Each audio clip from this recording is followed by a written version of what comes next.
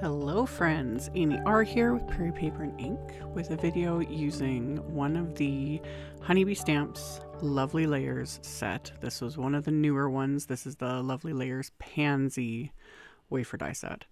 I will have a link to yet another playlist at the end of this video that I compiled of all the videos I've done so far using various Lovely Layers sets from Honeybee because they've done a ton over the last however many years. And this one had come out, and everyone was betting that this was going to be the first one I used. I did the strawberry set. Uh, that was like last month. And I'll have a link to that one um, at the end of this video as well.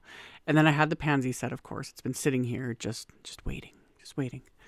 And I was like, now it's it's time. It's time to die cut it and you know add some color. Uh, in that playlist I link, I show all sorts of ways to do these. I have done like sprays and oxides and just all different sorts of methods to color these pieces. And you can also just die cut them from like solid colors of cardstock. I wanted to do ink blending this time, so I die cut everything twice. Generally, all you need to do is die cut with one of these sets is you just die cut everything once and you've got all the pieces you need to assemble. I did everything twice because I wanted a couple of these big pansies couple extra leaves, etc. And I used Hammermill's smooth white cardstock for the die cutting. Any smooth white cardstock's going to work. I just happen to have a ton of this stuff, even though I, I know right now I think it's still kind of hard for people to get their hands on because us crafters go a little nutty when uh, something becomes popular. Because uh, this is the stuff everyone loves for foiling. It is great for foiling too. I just like it with when when I have to layer a bunch of pieces together. It's nice because it's quite thin I might actually have to start getting thinner cardstock. I'm a big proponent of like I really like the heavyweight cardstock. You know, the 110 pound, like the heavyweight stuff. It's great. It looks better.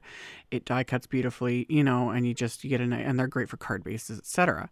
But now that we're getting all these awesome like layering die sets, I was like, you know, I kind of wish I had, you know, had a good stash of like the 65 pound weight cardstock is quite thin. That's perfect though for layers. Ideas. Anyway, I'll get to it down the road. So, ink blending. Really simple. This always looks like a hot mess. the beautiful thing with the lovely layers die sets is one, they layer so easily on it because if I can do it, anyone can. One, they now they include graphics. If you have any of the older sets, you can go on their website. They'll have like layering graphics you can just download and print. But it's all, you know, shown in the fabulous little graphics. And then it's also just obvious when you're looking at them, like after you've die cut them, because there's a bunch of detail that gets impressed into each die cut. And so you can tell which parts are going to show up because those are the parts with detail. All the parts that get covered by the next layer, there's nothing there. So that's where I don't worry about my blending. You know, I started with my lightest color and I'm using all of Simon's Pawsitively saturated inks for this. And my lightest color was uh, bubblegum. So that I just kind of went around with a blending brush and then I'm going in with like sweets, which is the medium color. And that's where you see I'm just not worried about it because those like center blotch areas, those are getting covered up. Don't have to worry about it. I only have to worry about the areas that people are actually going to see once I add, um, once I layer everything up together. And then for my darkest color, taffy, instead of using my regular size blending brushes, I'm using one of the waffle flower. Uh, this is the shader one size. I've shown these in a bunch of videos. I love, I love my little waffle flower brushes. These are great for just getting into little areas. These aren't the tiniest ones. These are the like medium sized ones. There's little tiny, tiny ones that I use a lot. There's these ones, and then there's um these angled thin ones that I'll get to in a second. And the waffle flower brushes are a little different in the sense that they're actually angled. Like the bristles are angled themselves, so they're not meant for like the swirling motion that we're all used to. These you just kind of drag and for things like this, they're perfect. So I went in with the taffy ink and added my darkest little areas. And this also picks up a lot of the the impressed detail that was embossed into the cardstock and just kind of emphasizes it a bit. So I just went along with each layer and wherever those um, embossed line details were, I added that deepest ink and again. And if I wasn't 100% sure, I would stick the next layer on top of the piece I was blending just to make sure it's like, okay, this is the spot that's exposed. Add a little bit of ink. We're good to go. So then I took one of the This is called the Shader 2 brush, and I keep the, them in these little waffle flower uh, silicone containers, and I'll link to these too because I love these. These also have their their little containers, FYI, fit in those picture ledge um, shelves from IKEA. That another thing all of us crafters love because they're perfect for storing all supplies. Those fit perfectly on there, FYI. So I have those to store like my blender brushes and my glues and all kinds of things. So anyway, back to the brushes. I'm using the Shader 2 brush. So this has got, it's like flat and narrow and a little bit of an angle. And all I'm doing is following the lines that are embossed onto the die cuts. So I'm not inventing nothing. I'm not doing anything fancy. I'm just following the lines. I can figure all this stuff. Like I talk about this a lot about, you know, like light sources and adding highlights and all this and how I just, I kind of sound like I don't care. And in a sense, I don't.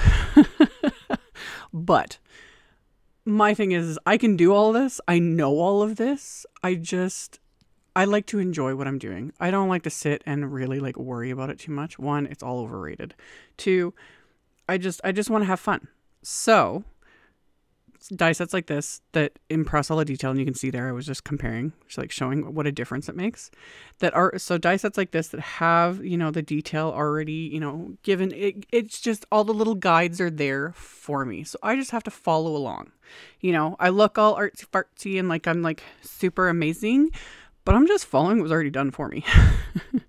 And another tip another tip Dawn Wolfslegel. I probably just butchered her last name. That's why I muttered it because I can never pronounce people's names. But Dawn plus nine. She designs for for Honeybee now. She has her own like brand and everything. I highly recommend like go check out her videos. If I remember, I'll post a link below mine. She has done many showing like and specifically showing the Honeybee Lovely Layer sets and how she will add like shading and detail with brushes, like just ink blending, and it's just oh man, I can just sit and watch her create all day. It's inspiring. But that's actually what got me thinking with this set. I was like, ooh, I'm to be like Dawn, you know? But more a more ratchet version. it's not as fancy or as artistic, but she gives a lot of amazing like real artistic tips. She has an eye for design, all the things. So just I highly recommend if you aren't already following her, go right now or after watching this video, then go over there, check her stuff out, subscribe. Um, cause yeah, she just she adds shading in ways that just makes everything like pop. It's fabulous. So anyhow, I just like I said, I just followed along, you know, scribbling on the ink, basically dragging it on, following along the little um, embossed lines and whatnot. And then for the little tiny centers, I used a couple shades of brown and a shade of yellow. Pushed all that aside, for the for the leaves, I'm using another favorite combo of mine, this Pawsitively saturated ink trio of Sprout, Fairway, and Field. And I happen to have like some random green on my blending brush on the very first leaf. Went with it. You know, nothing is consistent in nature. Doesn't need to be on our cards either. I'm not worried about it. And besides the fact, when it's all said and done, you're not even going to be able to tell which leaf was just a slight different shade of green at the very beginning. So I did the same thing. I went lightest, took the medium color, which was the lightest was Sprout, the medium is Fairway. And then the field, I started with the Waffle Flower uh, Shader 1 brush. And then I pulled out the Shader 2 brush, the thin one, and that's where you can see. And again, I'm just following the emboss lines.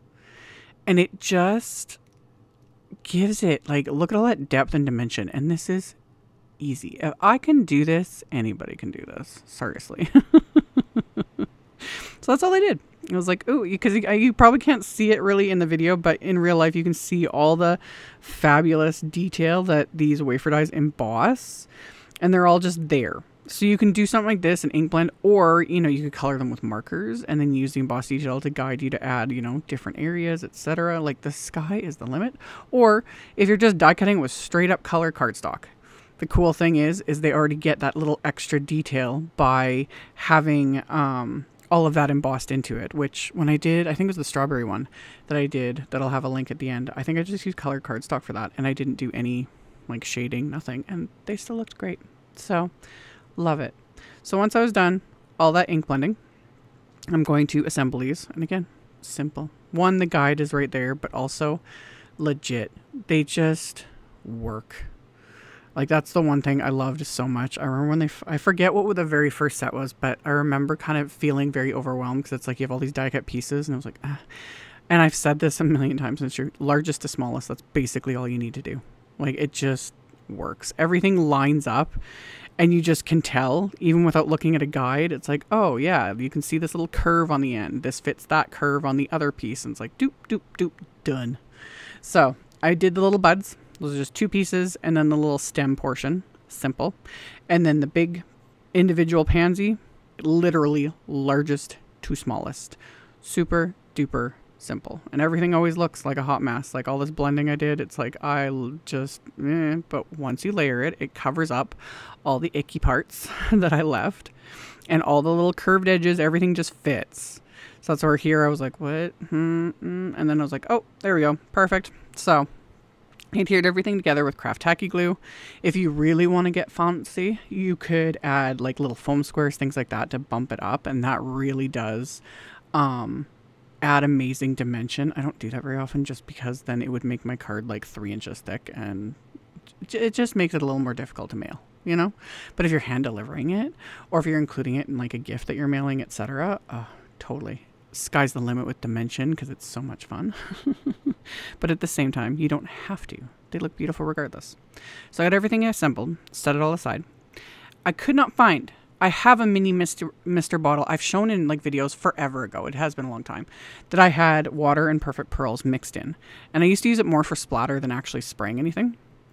But me it, growing legs and walking away is fine. I have extra mini Mister bottles. So this is a mini Mister bottle uh, by Ranger. I just put uh, some distilled water in it and for like a little three quarters ish full. There's no formula for this. You just kind of play with it. But put water in it and then I'm adding perfect pearl powder in the color perfect pearl because you can use any color of perfect pearl powder. Again, I specify perfect pearl powder powder by Ranger. Other shimmer powders, etc. Um, specifically like Pearl-Ex, I can't comment on whether or not those work. I know Pearl-Ex does not have a binder in it. Perfect Pearl Powder does. So when you add it to something like this, like just water, it's not going to rub off. Now, if you're having an issue with your Perfect Pearl Powder rubbing off your projects, one, either you had, didn't use enough water with it or you used way too much powder, whatever. That's because this did not come off. So I shook it up really well in the mini mister. I sprayed a pan, another panel of just hammermill cardstock because it was sitting there. And th- this has a dual purpose. One, it's going to add all this beautiful shimmer, and two, it adds a bit of moisture to the cardstock, so it's going to emboss beautifully. So I'm running it through my uh, Platinum 6 die cut machine with the new universal plate system. You use the base plate and the D plate and the folder with the cardstock, and this folder is the Clover Petals 3D embossing folder from Honeybee. And look at it. Look how beautiful it is. Seriously, Honeybee's new folders are just, again, chef's kiss. And I will show even better at the end too, uh, the, the flashlight. Like the shimmer is not overwhelming because one, I didn't hose down the cardstock, but it's just, it's there and it's pretty. So I set that aside to dry. My card base is a top folding A2 white note card and I stamped a sentiment from the Best of Everything stamp set with that taffy ink, the darkest pinky color. And then I adhered one of the little pansy uh, buds to the inside because I only wanted one for the outside. So I just adhered that to the inside. And then my embossed panel, I'm going to, I was going to cut it down. And then I was like, nope, I like it. I like it too much. It's just, it's not getting trimmed down. it's going to cover the whole card. So I put craft tacky glue on the back of it. And that, and that, especially craft tacky glue, gives me, you know, that wiggle room that I always need to get things lined up, you know. So got that onto the card base and it completely covers the card base. And again, my hands were all over this and I checked. Nothing rub- rubs off. So just yeah, if you're using way too much, the, a cardstock can only absorb so much. So if you're finding powders everywhere, you're just you're just using way too much. So anyway, after I've got everything adhered, I'm then going to start adhering all of my die cut pieces, my leaves, etc. And same thing, just craft tacky glue to adhere all this. You could pop things up with foam tape, all of the things, whatever floats your boat. So I just figured out kind of this is kind of like my go-to layout when I'm doing florals on cards. I don't know. It's just it works. Kind of like a C shape almost, you know, or an L. An L or a C shape is just kind of my go-to for these sort of arrangements. So, I adhered everything and then I'd stuck it under my MISTI, just something to hold it down. And then the sentiment I actually showed in the strawberry video. So I'll link to that at the end. I showed the actual like hot foiling with this. And in that video, I hot foiled extras because I was like, why not when I've got everything going? Which was exactly perfect because when I pulled out the package, I was like, ooh, I've already got sentiments hot foiled, saves me time. So that's what I did. I just used this big hugs hot foil sentiment. This is from the Love Hot Foil plate and wafer die set from Honeybee. And I just adhered it with a bit of craft tacky glue and a couple little foam squares. And then as a final bit of embellishment, I pulled out these are Pink Fresh Blossom glitter drops. Again, I have like 15. I, I, I um, what did I say before? Like three lifetimes, and now I'm saying I'm probably yeah, probably it's 15 lifetime supplies of bling.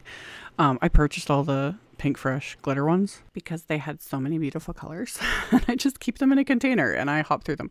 I would, and yeah, I've shown them in a couple videos. I just more honestly, even with my bajillion lifetimes of bling, more often than not, it's like, oh, it's not quite the right color I need, you know? But this one worked. This color went perfectly with these little, with these pansies.